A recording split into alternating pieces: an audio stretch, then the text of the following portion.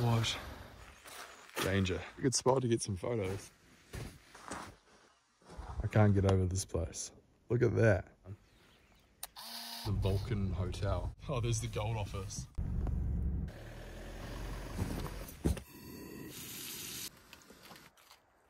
We can actually just mummify ourselves and go right in. It is pretty cold in here.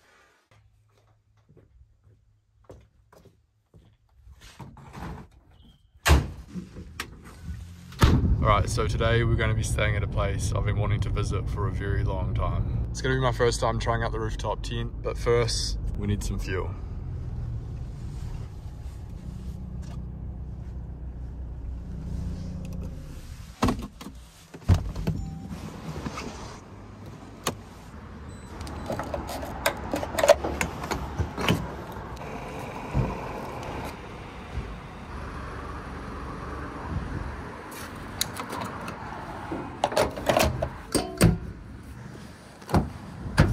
Think it's going to be dropping down to around negative two or three. And we've got about a two hour drive ahead of us, so let's get on the road.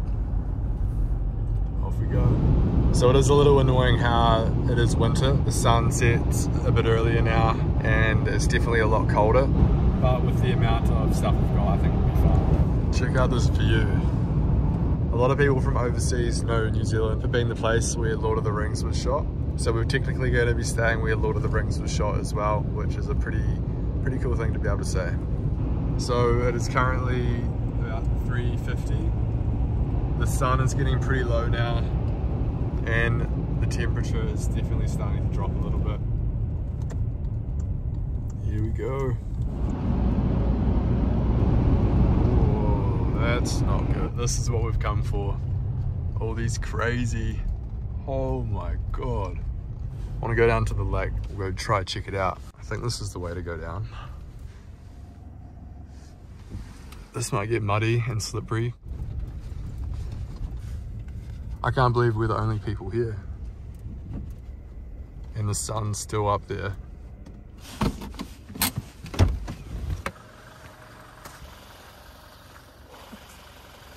Check this out. I'm gonna turn the truck off so we can just kind of go for a walk around. And then I think we should set this tent up before it gets dark and start cooking dinner as well. There's even like a little jetty over there. We're literally the only people here. Look at this.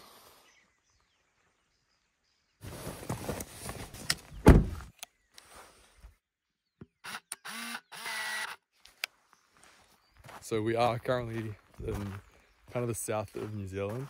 So this is St. Bathans. I've always wanted to come and visit this place. I've just never really got around to it because I normally go the other way when I drive down south. But I think I'm going to start coming this way all the time. Good thing I've got gummies on. Even just look at the truck. Looks sick over there. Danger. Pretty good spot to get some photos. Where's the flash on? Try to get high so we can get the sun. I reckon tomorrow morning at sunrise, this will be epic. Oh, it's kind of like sludgy.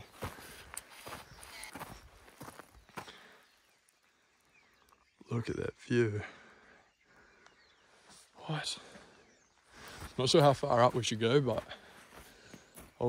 yeah, bit of a drop there.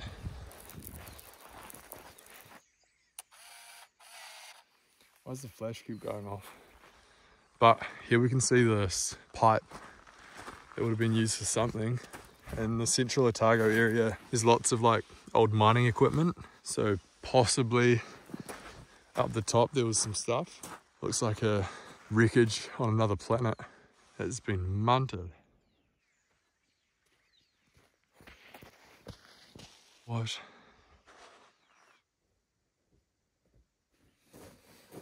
Look at this.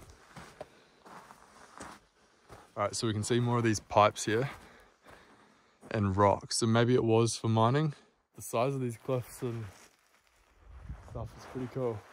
You can see sunset happening through there. I wonder if there's any fish in here. I reckon we head back to the truck, find a good spot to camp because I don't think we can sleep down here. I think the campground's just up here somewhere. You can see a little bit of ice. I'm not even sure if I've brought a beanie with me as well, so I can't get over this place. Look at that. All right, so I've just been kind of chilling, watching the sunset. I'm not actually allowed to camp down here. It's quite nice just watching the sunset. And I'd say that road that we're about to go up soon will be quite icy in the morning, so that'll be interesting. Look at those formations up here. It's like a wee family of uh, the formations.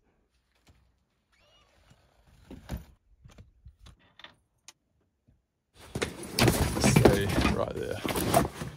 Get some sleep before it gets too cold. Which, surprisingly, I don't think it's going to happen. It's still saying that it's 8 degrees out, so I think we actually might be alright. Quite a bumpy road. You can see all the marks from the rain, how it's all been streaming down here, which I'd say is why these cliffs are kind of like, oh, like that shape. Man, the place was so nice. Alright, so not in four-wheel drive, we're just rear wheel. Oh, yep, back tires are slipping.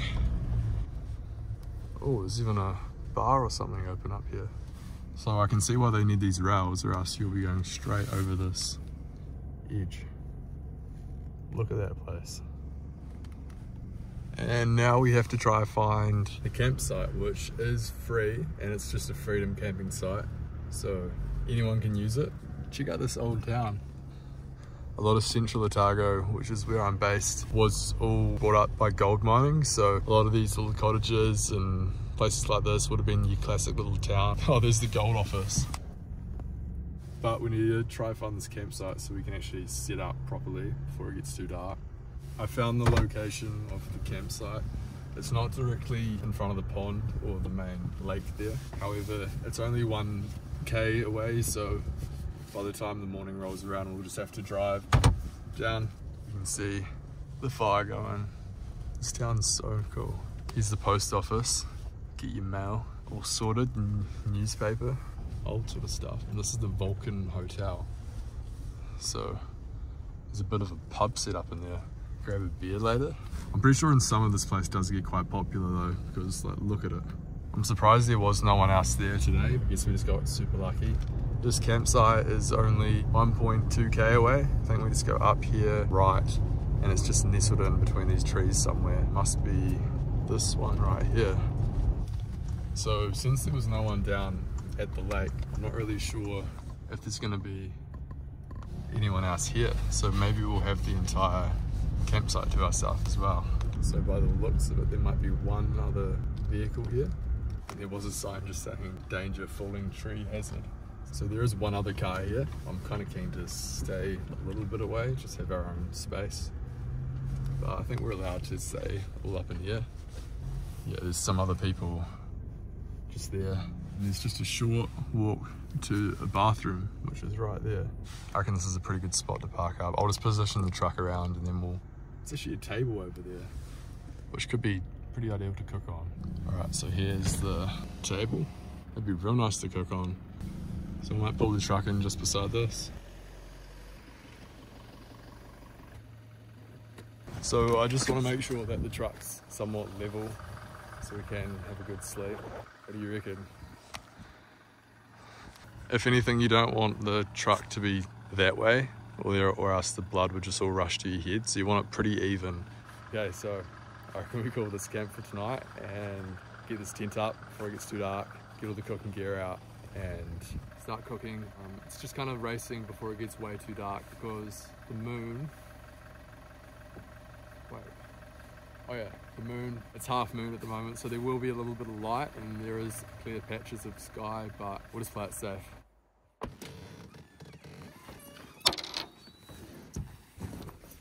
My mate actually sells these tents and has kindly gave us one to use for a while and you get some photos and stuff for. But he just put these pads on the ladder so when you take your shoes off and whatever, it's way comfier to actually stand on the crossbars. These are pretty nice quality and it just makes getting up into the tent far nicer when you take your gummies off or your shoes. We've got a pillow.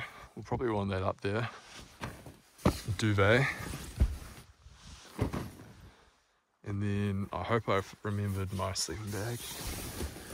Yep. Sleeping bag and a silk liner. Pretty cold tonight.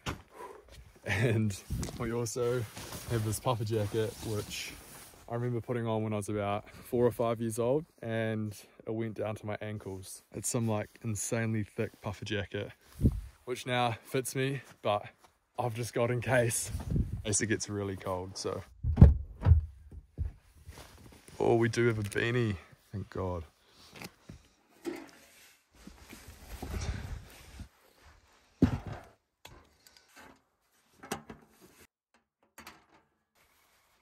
So I saw this recipe on Instagram, but I don't really have any, everything for it. However, I think since we're camping, we can make do. I think anything in this temperature will taste pretty, pretty amazing. Just something to get us full. And I think with the amount of random things we've got tucked away in this container, we'll be able to whip something up pretty nice. So.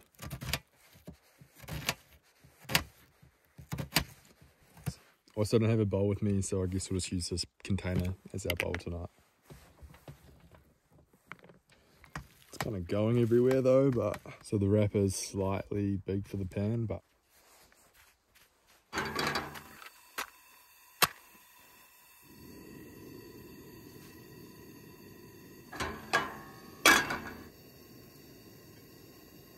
I reckon we put a little bit more pepper on.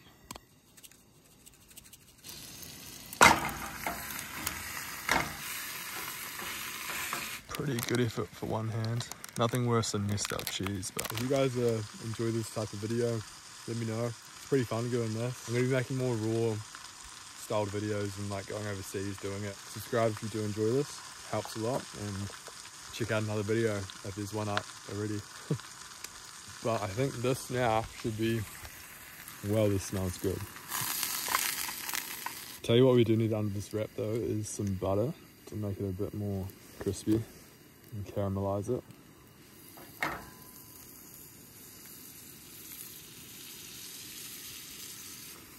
and cheese. Cheese. There you go. We'll get that guy off. Get our next one going. Okay, so that's crispy.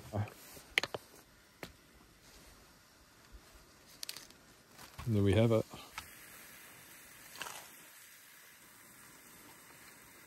Okay, this is probably one of the best things I've had camping.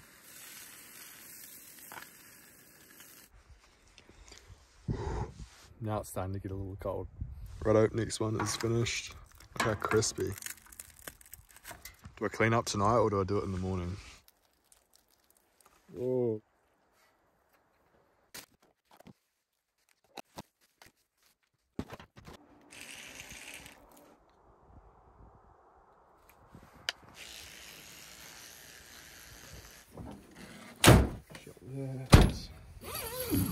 Alright, time to get warmed up as fast as possible. So far, it's pretty nice and cozy in here.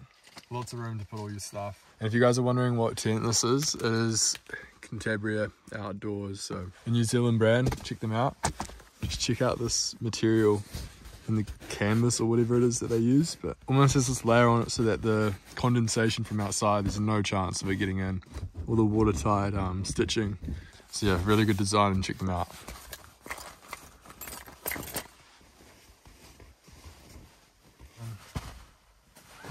I'm gonna try out this sleeping bag, which has had some time to puff up.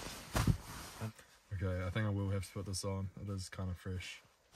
I think it just protects the bag, really, and just as another layer if you need it. So I think this sleeping bag is going to keep us more than warm enough. If say it does get really cold out, we can actually just like mummify ourselves and go right in.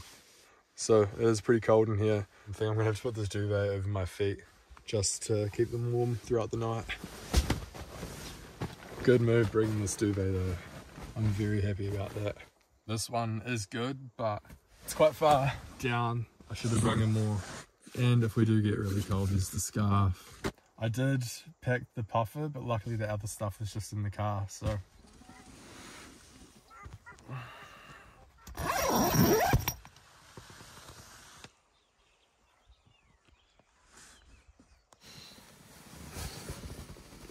There's a swing over there. It could have been way colder, so, but now we need to get up, make a coffee, pack our stuff up, and maybe go back down to the lake.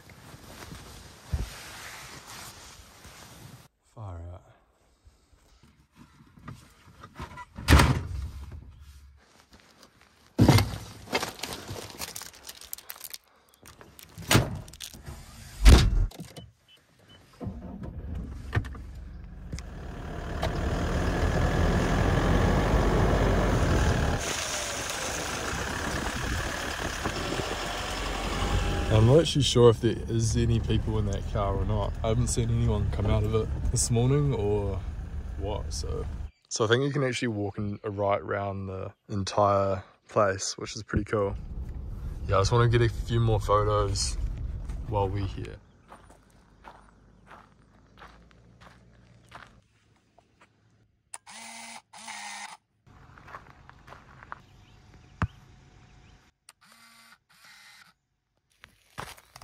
But yeah, cheers for watching, and I'll see you guys in the next one.